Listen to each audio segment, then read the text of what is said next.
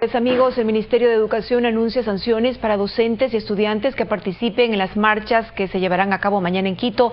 La jornada educativa se desarrollará con normalidad y se adoptarán las medidas necesarias para evitar que grupos políticos inciten a los jóvenes a salir a las calles.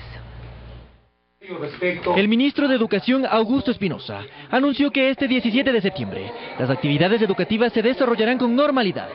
El funcionario denunció además que algunos integrantes del Movimiento Popular Democrático aparentemente estuvieron incitando a los estudiantes para que se sumen a la marcha en contra del gobierno. A que quemen llantas, es decir, a que provoquen eh, actos eh, de vandalismo. Una supuesta alza en el costo del pasaje de transporte urbano sería la excusa que están utilizando ciertos activistas políticos para que los estudiantes salgan a las calles. Y yo estoy en este momento enviando eh, una invitación al alcalde de Quito para que el día lunes se defina de una vez por todas que el municipio subsidie el transporte de los estudiantes.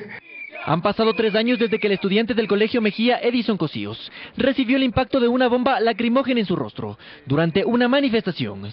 Su madre hizo un llamado a la ciudadanía para evitar que situaciones como esta se repitan. Que siempre se acuerden que hay un, hay un estudiante que está postrado en una cama a cuestión de todo este tipo de cosas que ha pasado. Los representantes de algunas universidades del país dieron a conocer su postura en torno al tema. No plegar a la marcha del 17 que están haciendo algunos sectores sociales en oposición al gobierno. Entre tanto, quienes respaldan las políticas del gobierno ratificaron que se concentrarán en la Plaza Grande a partir de las 15 horas.